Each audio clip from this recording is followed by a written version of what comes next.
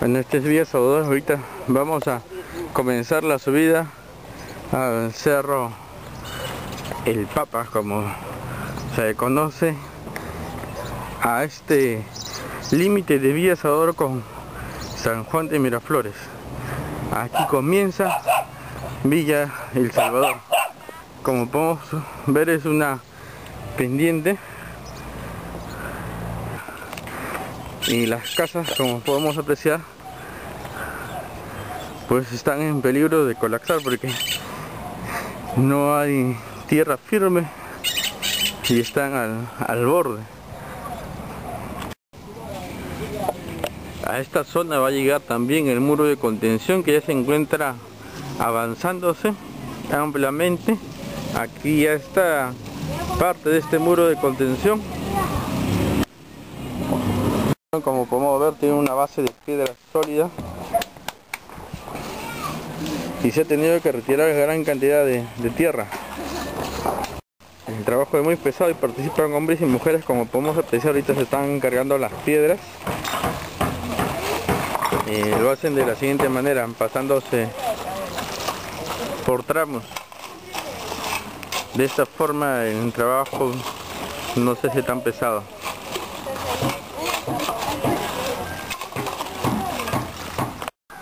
¿Ya tenía experiencia en construcción o no? Sí, tenés en construcción. Este es un trabajo muy fuerte que lo suelen hacer los hombres. Sí, así entrando hemos aprendido. Las ¿Cuántos hijos tiene usted? tres, Tres. ¿Y el menor cuántos años tiene? cuatro. Estamos con el señor Roque Pérez, presidente de SEMA y gestor también de esta, de esta obra. Señor Roque, ¿podrían explicarnos en qué consiste esta obra? Esta obra consiste en que es un muro de piedra para contener la mitigación, o sea, la bajada del deslizamiento de arena hacia eh, las calles y también asegurando el estacionamiento permanente de las viviendas que están en el asentamiento humano, grupo 16, ampliación. ¿Cuántos años los vecinos han vivido así al borde casi de un precipicio con problemas de inseguridad? Tienen más o menos como 16 años.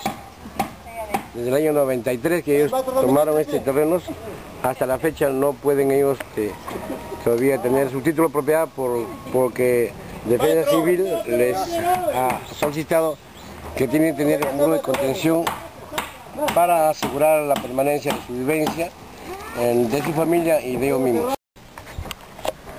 Esto es trabajo de manos de padres de familia, hombres y mujeres, trabajando organizadamente para llevar un pan a su mesa y también para aportar al desarrollo de Villa Salvador.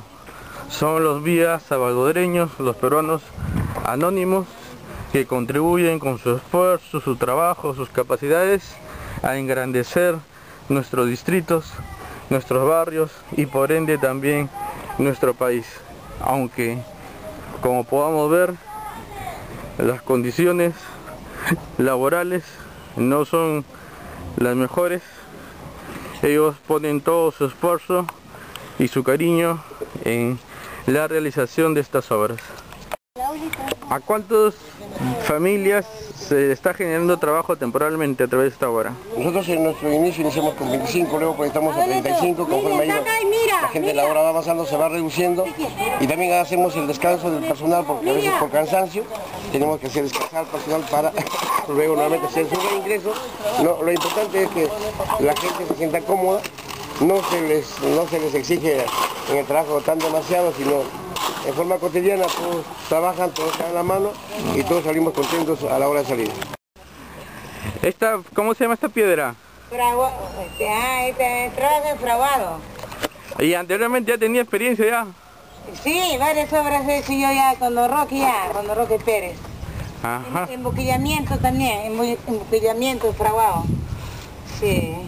Un documento a la Municipalidad de Villa Salvador solicitándole que nos dé un cargador frontal y volquetes porque el acarreo de material del deslizamiento este desmonte es demasiado, ¿no? Y eso trae bastante gasto para, la- para, la- para el asentamiento.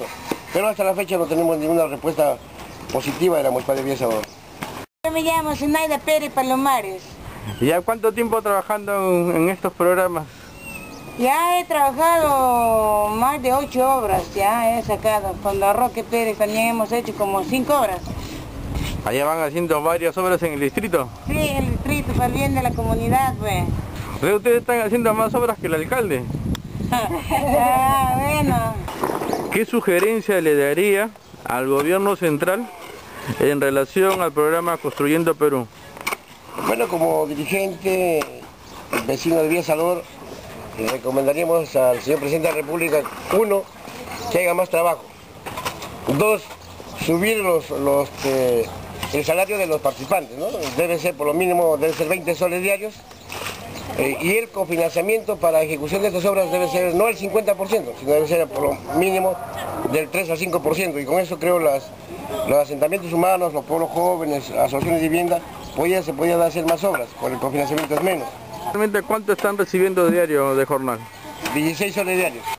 El acabado del muro, como podemos ver, tiene 4 metros. Y acá, como se podemos apreciar, este es el techo de una de las viviendas, es decir, todo esto han tenido que sacar la tierra y el desmonte. Se puede ver claramente, nosotros estamos al nivel y este es el muro de contención. La parte superior del muro está quedando como un jardín, como una pequeña alameda y acá están las casas precarias construidas de material provisional aún que están siendo beneficiarios directos de esta importante labor social. ¿Su nombre, vecina? Está acá con sus pequeños hijos. ¿Usted cuántos años tiene viviendo aquí? Más de 10 años. ¿Cómo se siente ahora que se está haciendo este muro de contención? Contenta pues porque es, es algo bonito que están haciendo. El trabajo es muy fuerte y lo realizan hombres y mujeres como podemos ver. Las piedras son muy, muy pesadas. Eh, tienen que cargar las madres de familia. Las... También este tenuante trabajo, también acá vemos a las señoras que también hacen un pequeño receso para alimentarse. Es un plato muy económico, es un sudado de pescado.